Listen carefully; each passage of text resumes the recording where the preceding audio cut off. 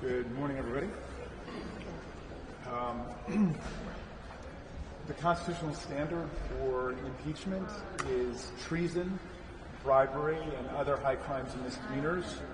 Uh, we're still waiting for our Republican friends to articulate what they think uh, the high crime and misdemeanor is.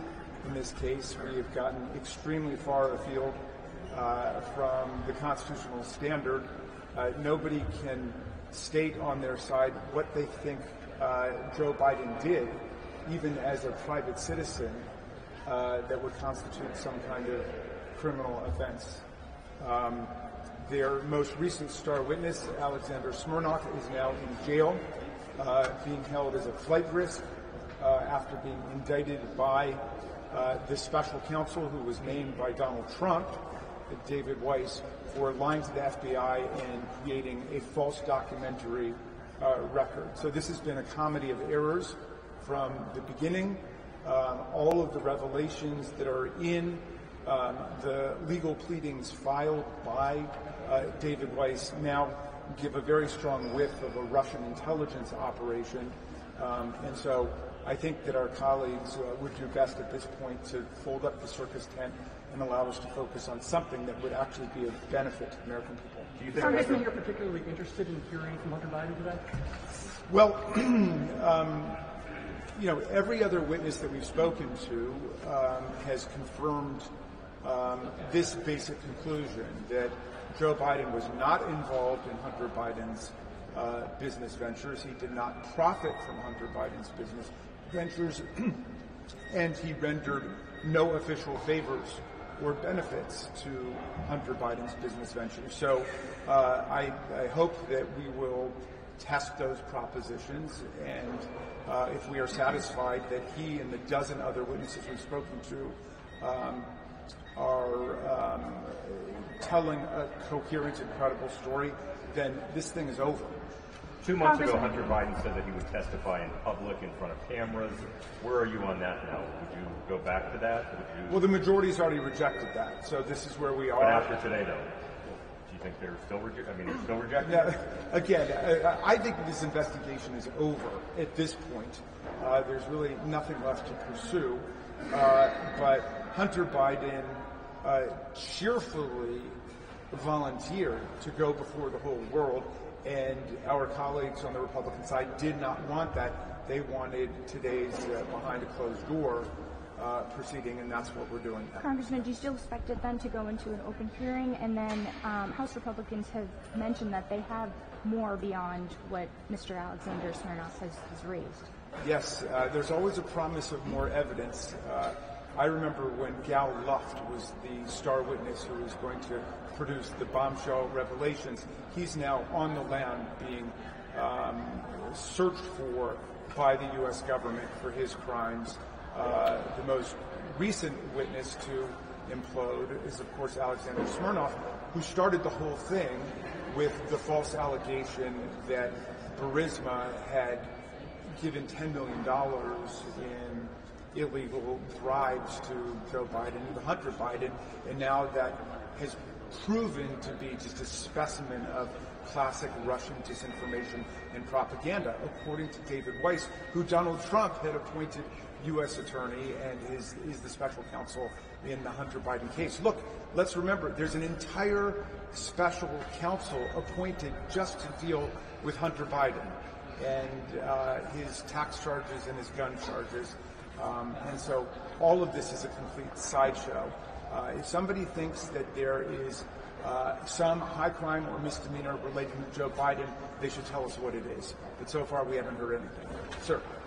Um, President Trump was impeached twice um, from just general rule from overseas. It's very surprising. It seems like there's a two two standards. Uh, well, can you explain that? Uh, yeah, I'm not quite sure I follow the question. President Trump was impeached twice. Yes. And this impeachment is much more complicated. There, it seems like there's two separate systems for those watching from overseas.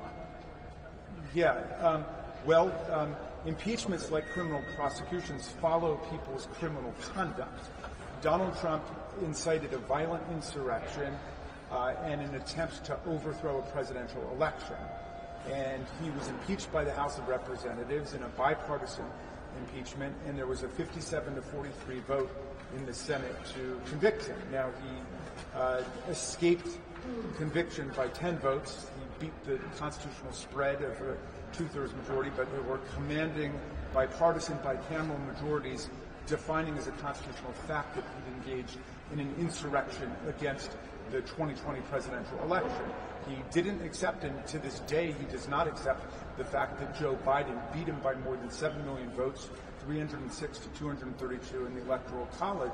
Um, and so this absurd impeachment investigation is just a continuation of Donald Trump's refusal to accept the results of the 2020 presidential election. And I think everybody can understand that for what it is. Remember, there were 60 federal and state court decisions rejecting every claim of electoral fraud and corruption that were advanced by Donald Trump and the Republicans after that election. And yet still, election denialism is at the heart of Donald Trump's political program and also at the heart of uh, this attack on President Biden today.